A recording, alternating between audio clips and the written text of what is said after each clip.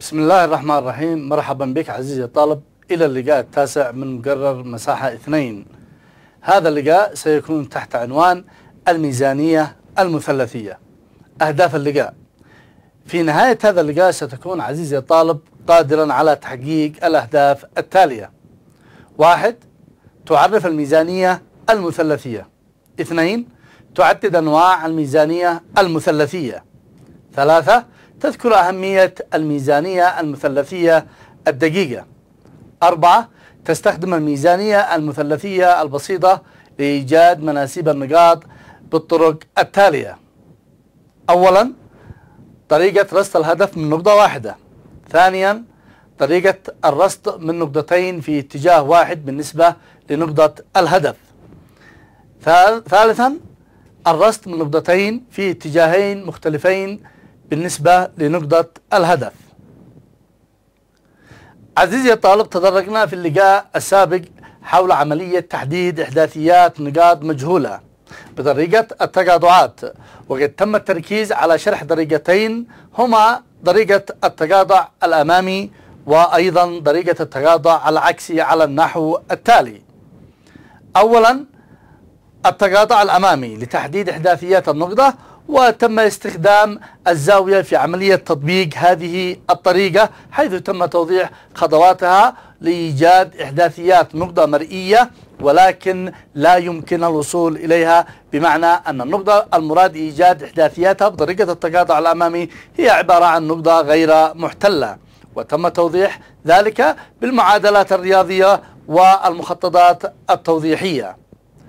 أيضا تم التدرج إلى التقاطع العكسي لتحديد إحداثيات النقاط وتم استخدام فيها طريقة قياس الزاوية حيث تم توضيح خطوات إيجاد إحداثيات نقطة يمكن الوصول إليها وبالتالي تكون هذه النقطة محتلة. ولا بد من توافر على الأقل ثلاث نقاط ذات إحداثيات معلومة في هذه الطريقة. وفي هذا اللقاء عزيزي الطالب الذي يرتبط بشكل غير مباشر باللقاء السابق حيث سيتم شرح تطبيق الميزانية المثلثية لحساب مناسيب النقاط بتطبيق المعادلات الرياضية التي سيتم شرحها في هذا اللقاء بإذن الله. الميزانية المثلثية هي أحد طرق تحديد فروق الارتفاعات بين النقاط الموجودة على سطح الأرض والمحددة مساحيا باستخدام جهاز الثيودليت أو يمكن تعريفها بأنها هي عبارة عن تحديد فرق المنسوب أو فرق الارتفاع بين النقاط بطريقة غير مباشرة أي عكس نظام الميزانية الدقيقة أو الميزانية العادية التي تم أخذها في مقرر المساحة المستوية مقرر مساحة واحد. حيث يتم استنتاج فرق الارتفاع في هذه الطريقة حسابيا من الزاوية الرأسية المقاسة بالثيودوليت ومن المسافة الأفقية المقاسة بإحدى طرق قياسات المسافة. حيث قد تكون الطريقة هي طريقة مباشرة باستخدام شريط القياس أو باستخدام الطريقة الغير مباشرة باستخدام شعرات الاستادية أو بطريقة ظلال الزاوية التي تم توضيح هذه الطرق في اللقاءات السابقة. ويعتمد حساب فرق الارتفاع بين النقطة بهذه الطريقة على الخواص الهندسية للمثلث القائم الزاوية الذي يتكون في الفراغ بواسطة منظار الثيودليت كما هو موضح في الشكل. حيث أن الجهاز موضوع على نقطة الراصد والهدف هو عبارة عن برج سكني موجود أمام الجهاز وبالتالي تم عملية تكوين مثلث فراغي. قاعدته هي مرتكزة على البرج وأما رأس هذا المثلث فهو عبارة عن نقطة الراصد الموجودة على الجهاز. ويمكن عزيزي الطالب تقسيم طريقة الميزانية المثلثية إلى ميزانية بسيطة وأخرى دقيقة. أنواع الميزانية المثلثية. الميزانية المثلثية هي عبارة عن أسلوب حسابي رياضي مساحي. الغرض منه استنتاج فروق الارتفاعات بين نقاط الرفع المساحي. بمعنى إيجاد فروق المناسيب بين النقاط المساحية التي تم تحديدها بجهاز الثيودليت. وذلك عن طريق معلومية الزاوية الرأسية مع المسافة الأفقية التي يتم قياسها بصورة مباشرة أو بصورة غير مباشرة. وتنقسم الميزانية المثلثية إلى نوعين رئيسيين هما على النحو التالي. الميزانية المثلثية البسيطة والميزانية المثلثية الدقيقة. أولا الميزانية المثلثية الدقيقة. بالنسبة للميزانية المثلثية الدقيقة حقيقة عزيزي الطالب سوف يتم التدرج لها بشكل سريع. لأن الميزانية المثلثية لها ارتباط مباشر مع المساحة الجيوديسية وهي وهي تكون في حد ذاتها تخصص مستقل الذي يعتمد في هذه المساحة الجيولوجية في التعامل مع مساحات ومناطق كبيرة بحيث يلزم الأمر أخذ كروية وانكسار الأرض في الحسابات الناتجة من هذا القياس.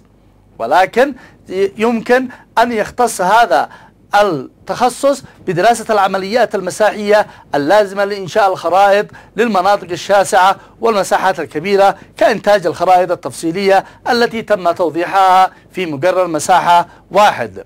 تعتبر المساحة الجيوديسية أدق أنواع المساحات التي تنفذ على سطح الأرض لأن الغرض الرئيسي من هذا التخصص أو من هذه المساحة تثبيت نقاط على سطح الأرض بدقة عالية وبدون أي أخطاء.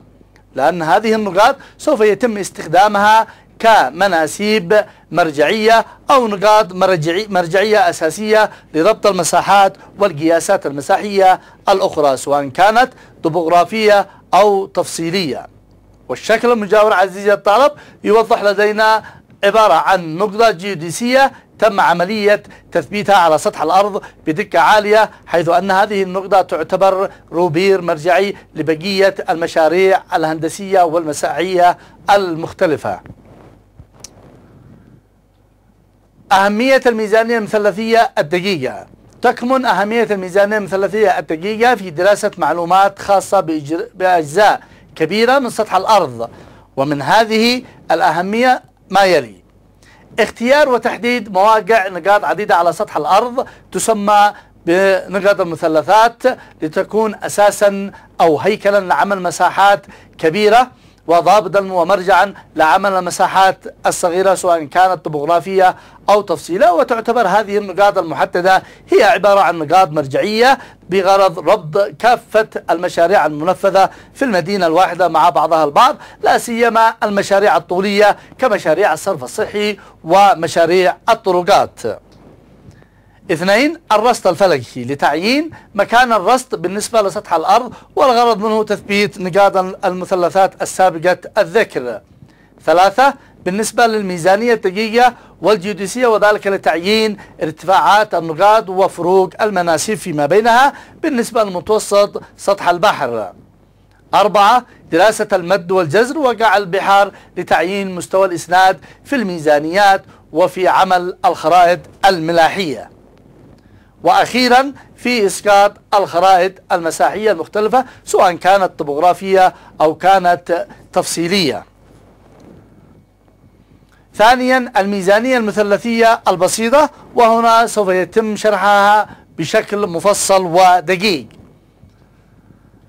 يختص هذا النوع بتحديد فروق الارتفاعات بين نقاط موجودة على سطح الأرض بينها مسافات قصيرة. يتم قياسها بسهولة كما ذكر إما بشريط أو بجهاز الثيودليت عن طريق شعرات الاستاديا أو طريقة ظلال الزاوية. وقد تسمى هذه الميزانية بالميزانية المثلثية قصيرة المدى نتيجة لأنه يتم استخدامها في المسافات القصيرة. ويتم استخدام بعض المعادلات الرياضية السهلة لحساب تلك المناسيب واستنتاجها رياضيا. لذلك بعض المساحين يطلقون على هذه الطريقة بالطريقة الغير مباشرة. وبالتالي في هذه الطريقة يتم إهمال تأثير انكسار وكروية الأرض أثناء عملية القياسات والأرصاد المختلفة لأن المسافات تكون قصيرة وبالتالي تكون الأجزاء المرفوعة من سطح الأرض بسيطة. ومن أهم تطبيقات الميزانية المثلثية البسيطة في المشاريع الهندسية هي الأهداف المساحية الغير ممكن قياس ارتفاعها بالميزانية العادية باستخدام جهاز الليفل الذي شرح في مقرر مساحة واحد ومنها ما يلي إيجاد ارتفاعات المباني والمنشآت ارتفاع الأبراج الخاصة بنقل الطاقة الكهربائية. وارتفاعات قمم المآذن وأخيرا تحديد ارتفاعات الأبراج التجارية العالمية ذات الارتفاعات الشاهقة. توجد لدينا عزيزي الطالب ثلاثة حالات لتحديد فروق الارتفاع بين نقاط الرصد. التي تم تحديدها بجهاز الثيودليت والهد وبين الهدف المرصود.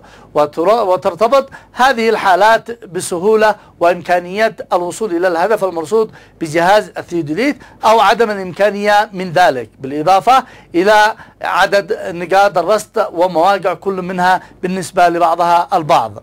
وهي كما يلي. الطريقة الأولى هي رصد الهدف من نقطة واحدة باستخدام جهاز واحد. الطريقة الثانية رصد الهدف من نقطتين في اتجاه واحد بالنسبة للهدف واستخدام جهازين. والطريقة الأخيرة وهي رصد الهدف من نقطتين في اتجاهين مختلفين وعلى منسوبين قد يكونان متساويان أو مختلفان بحسب تضاريس الأرض ويتم استخدام جهازين في هذه الطريقة. وفيما يلي عزيزي الطالب شرح للثلاث الطرق بشكل تفصيلي مدعما بالعمليات والمعادلات الرياضية والأشكال التوضيحية لكل طريقة بشكل مستقل. أولا رصد الهدف من نقطة واحدة. في هذه الحالة عزيزي الطالب يكون من الممكن الوصول إلى الهدف المرصود وقياس المسافة الأفقية سواء كان بالطريقة المباشرة أو بالطريقة الغير مباشرة كما هو موضح لدينا في الشكل المجاور. حيث أنه تم قياس المسافة دي ما بين نقطة الهدف ما بين نقطة الهدف الموضحة في الشكل ونقطة الراصد الذي هو عبارة عن الجهاز بصورة مباشرة إما بالشريط أو بشعلة الاستادية أو بطريقة ظلال الزاوية. المطلوب في هذه الطريقة أو في هذا الشكل هو عبارة عن استنتاج منسوب قمة البرج الخاص بالطاقة الكهربائية والتي موضحة بالرمز HQ من الشكل نلاحظ أن لدينا الزاوية ألفا وهي عبارة عن زاوية الميل بالنسبة للمنظار إلى قمة البرج النقطة Q والمسافة V هي عبارة عن الحركة الرأسية التي تحركها المنظار في وضع رأسي إلى الأعلى. النقطة A هي عبارة عن نقطة ارتكاز الجهاز و E1 هي عبارة عن ارتفاع الجهاز بالنسبة لخط النظر والنقطة B هي عبارة عن نقطة الروبير المرجعي الذي سيتم وضع المسطرة أو القامة الخاصة بإيجاد المنسوب بالنسبة للجهاز وبالتالي ربط الجهاز بنقطة الروبير بالنسبة للمنسوب. واتش بي هي عبارة عن ارتفاع نقطة الروبير بالنسبة لمستوى المقارنة المحدد بالنسبة للمدينة التي يتم الرفع فيها. من خلال هذا الشكل عزيزي الطالب يمكن تحديد خطوات الرصد على النحو التالي. الخطوة الأولى يوضع ثيودوليت فوق النقطة A قريبا من النقطة المرجعية الروبير B ويتم عملية إجراء الضبط المؤقت للجهاز. النقطة الثانية يوجه المنظار نحو القامة الرأسية التي يتم وضعها فوق نقطة الروبير ويضبط المنظار في وضع أفقي ثم تسجل قراءة الشعرة الوسطى ولتكن B واحد على القامة الرأسية وذلك بغرض ربط منسوب الجهاز بمنسوب الروبير. والنقطة الثلاثة يوجه المنظار نحو الهدف Q ثم تسجل قراءتي الدائرة الرأسية في الوضع المتياسر والوضع المتيامن. والنقطة الرابعة تقاس المسافة الأفقية دي كما ذكر سابقا بدقة عالية باستخدام الطريقة المباشرة أو الغير مباشرة وبالتالي تكون المسافة المحصولة بين النقطة C والنقطة ونقطة الجهاز A هي عبارة عن المسافة الأفقية دي والتي تم قياسها بصورة دقيقة. المعادلات الحسابية بالنسبة لإيجاد منسوب قمة البرج على النحو التالي بالاعتماد على الشكل السابق. أولا بتطبيق المعادلة التالية التي من من خلالها يتم إيجاد ال HQ والتي عبارة عن منسوب قمة البرج من ال HB منسوب الروبير. زائدا القراءة H اللي هي عبارة عن القراءة المأخوذة على القامة فوق الروبير. زائدا المسافة V وهي عبارة عن المسافة الرئيسية التي تحركها المنظار من الوضع الأفقي لخط النظر إلى قمة البرج. بزاوية مقدارها ألفا. وتسمى هذه المعادلة بالمعادلة رقم واحد. المعادلة رقم اثنين يمكن من خلال المثلث الفراغي المتكون ما بين الجهاز وما بين البرج آه الذي يقع قاعدته على البرج ورأسه على الجهاز. يمكن استنتاج المسافة الرأسية التي يتحركها المنظار بحيث أن ال V تساوي ال D في tan الألفا التي هي عبارة عن زاوية حركة المنظار. وبالتعويض في معادلة رقم واحد عن قيمة الفي ينتج لنا المعادلة التالية. HQ تساوي HB زائدا ال H زائدا الدي المسافة الأفقية زائدا تان زاوية الارتفاع.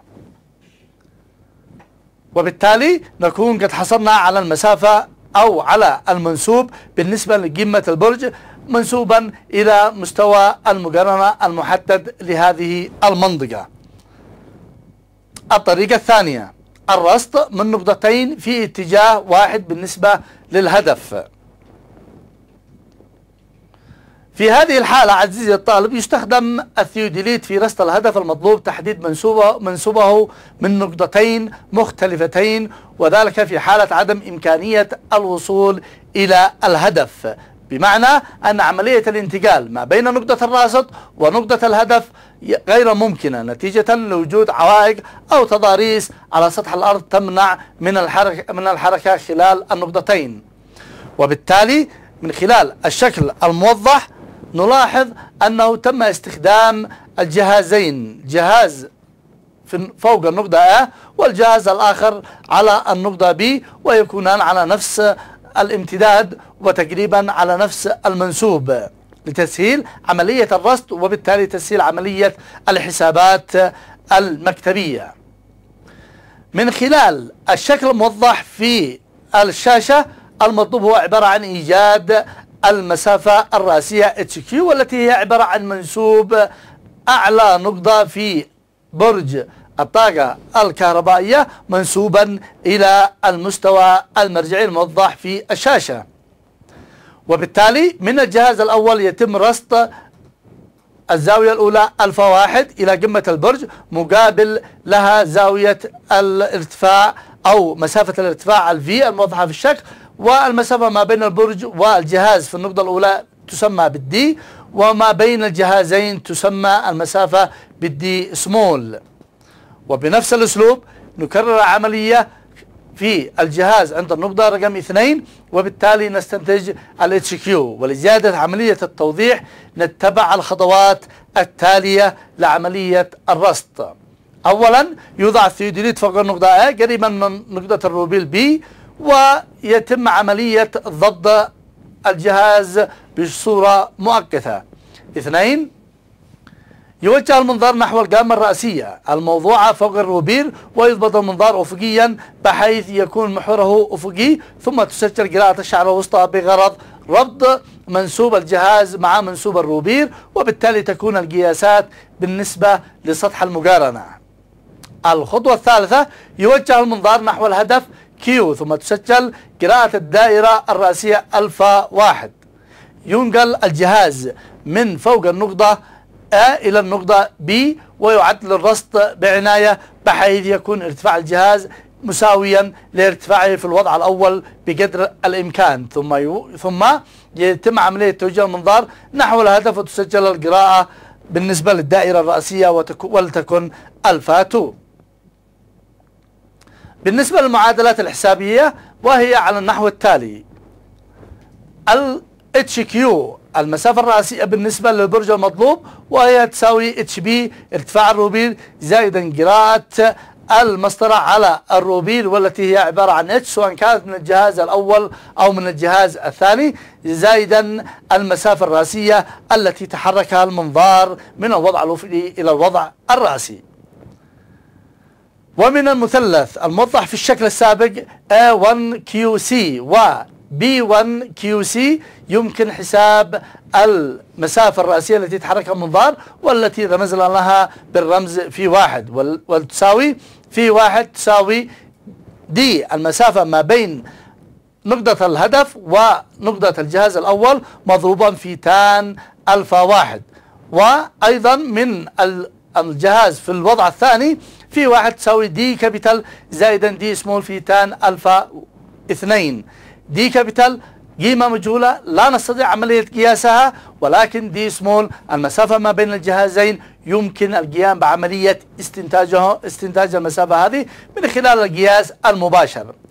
وبعملية مساواة أو بعملية فتح القوس في المعادلة رقم ثلاثة نستنتج المعادلة رقم أربعة على النحو الموضح في الشاشة. ومن المعادلتين اثنين وأربعة نجد أن ال D tan ألفا واحد تساوي ال D tan ألفا اثنين زائدا ال D tan ألفا ثلاثة. وبعملية ترتيب المعادلة بأسلوب رياضي نستنتج أن قيمة المسافة D تساوي ال D tan ألفا اثنين على tan ألفا واحد ناقصا tan ألفا اثنين. ومن الممكن عملية تحويل ال tan إلى ال sine بحيث نحصل على المعادلة الموضحة في رقم ستة.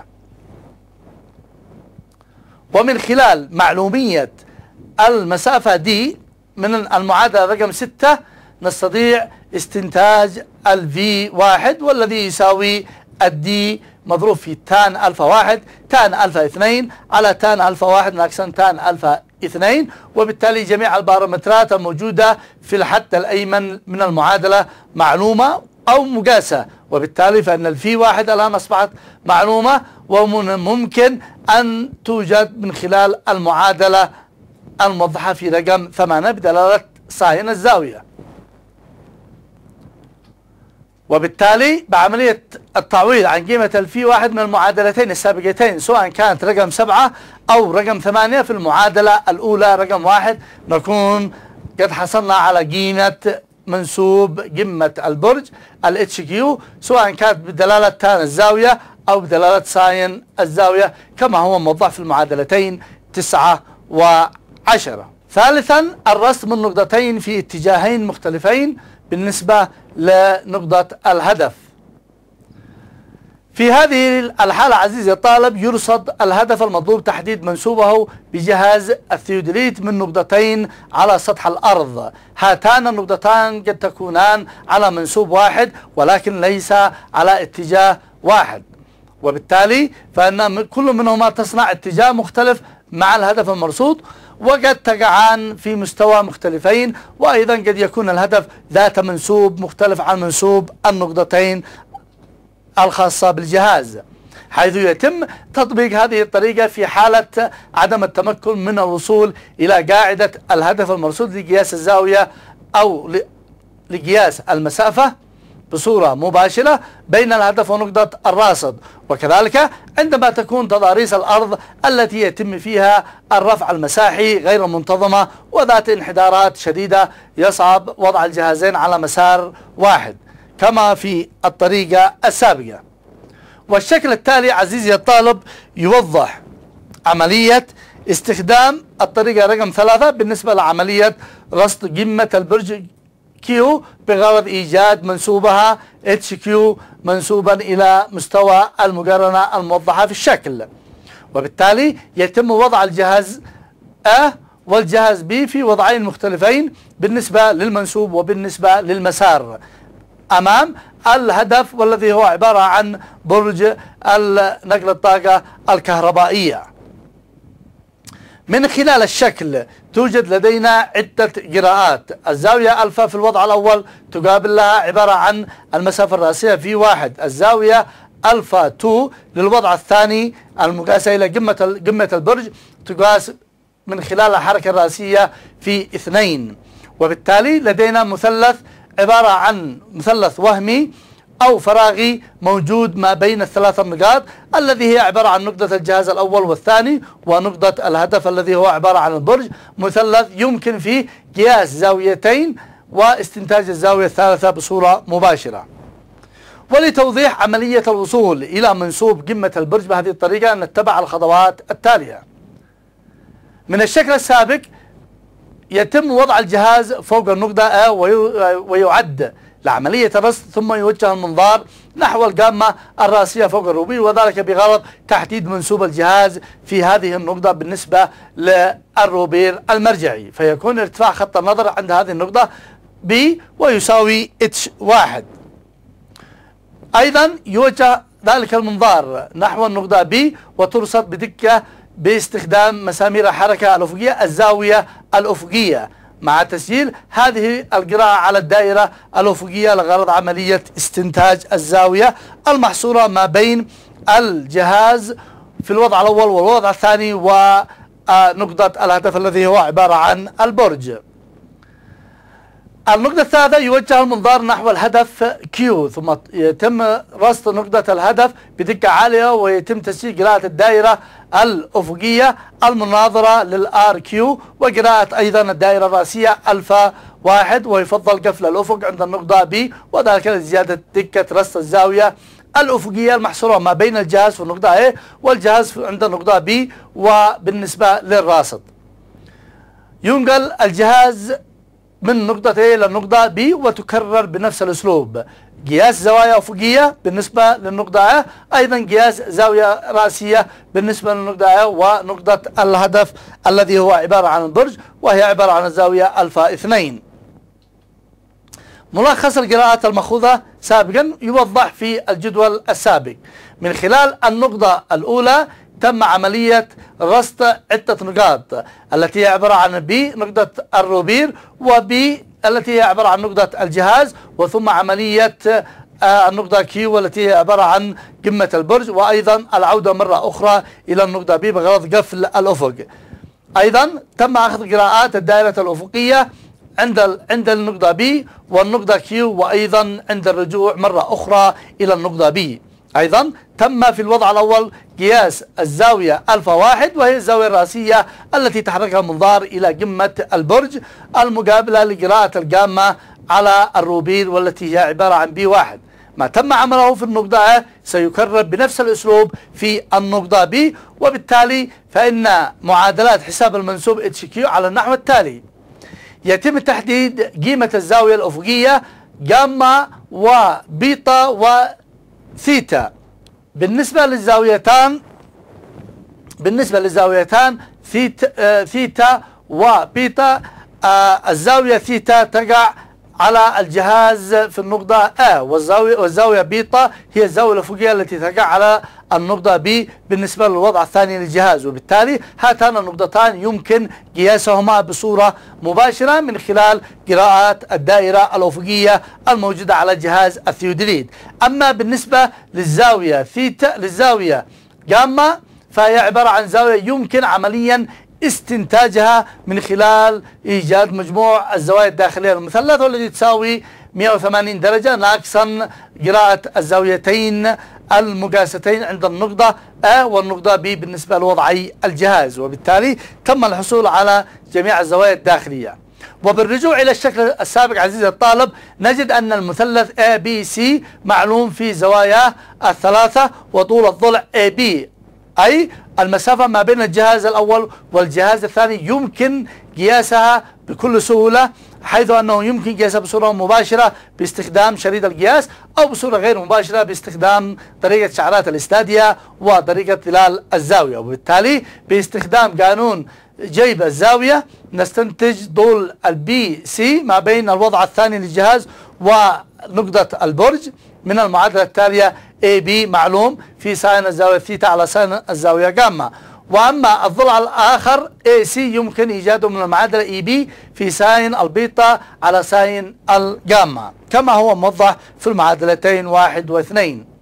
من خلال المسافتين BC و AC يمكن حساب فرق الارتفاع V واحد و V اثنين. وهي عبارة عن المسافتين التي تحركها المنظار في الوضع الأول إلى, إلى الوضع الرأسي والوضع الثاني بالنسبة للوضع الرأسي لقياس الزاوية ألفا 2 كما هو موضح في الشكل. V واحد تساوي AC في tan ألفا واحد و V اثنين تساوي BC في tan ألفا اثنين. وبذلك يمكن حساب منسوب النقطة كيو مرتين الأولى بالنسبة لمنسوب نقطة A والثانية بالنسبة لمنسوب نقطة B كما هو موضح في المعادلتين خمسة وستة حيث أن Q HQ تساوي HA زائدا H1 زائدا في واحد أو أنها تساوي HB زائدا H2 زائدا في اثنين وكل البارامترات الموجودة في الحد الأيمن من المعادلتين معلومة ومقاسة بدقة عالية. عزيزي الطالب في نهاية هذا اللقاء سوف نسرد ملخص عام لمحتويات اللقاء حتى يتم ترسيخ المعلومات. من خلال الشرح السابق نكون قد تطرقنا إلى توضيح مفصل عن الميزانية المثلثية. حيث تم تعريف هذه الميزانية بأنها تحدد بأن الغرض منها تحديد فرق الارتفاعات بين النقاط أي المناسيب ولكن بطريقة غير مباشرة باستخدام بعض المعادلات الرياضية المعتمدة في الأساس على قراءة الزاوية الرأسية والمسافة الأفقية. وتم التركيز في هذا اللقاء على شرح الميزانية المثلثية البسيطة والتي تنقسم إلى ثلاثة طرق تعتمد في الأساس على تضاريس المنطقة التي يتم فيها النشاط المساحي وهذه الطرق هي على النحو التالي. رصد الهدف من نقطة واحدة. رصد الهدف من نقطتين في اتجاهين في اتجاه واحد بالنسبة للهدف. الرصد من نقطتين في اتجاهين مختلفين بالنسبة للهدف. هذه عبارة عن ثلاثة طرق تم توضيحها سابقا بالمعادلات الرياضية المفصلة والأشكال التوضيحية لإيجاد قمة البرج HQ التي وضحت في الأشكال السابقة. عزيزي الطالب يوجد مرفق خاص بالمهام والتكاليف التي يجب أن تقوم بها حتى يتم ترسيخ المعلومات التي ذكرت في هذا اللقاء. وتعم الفائدة العلمية. يجب تسليم ما تم ذكره في المرفق خلال أسبوع من تاريخ هذا اللقاء على الإيميل الموضح في الشاشة. وإلى لقاء قادم بإذن الله والسلام عليكم ورحمة الله وبركاته.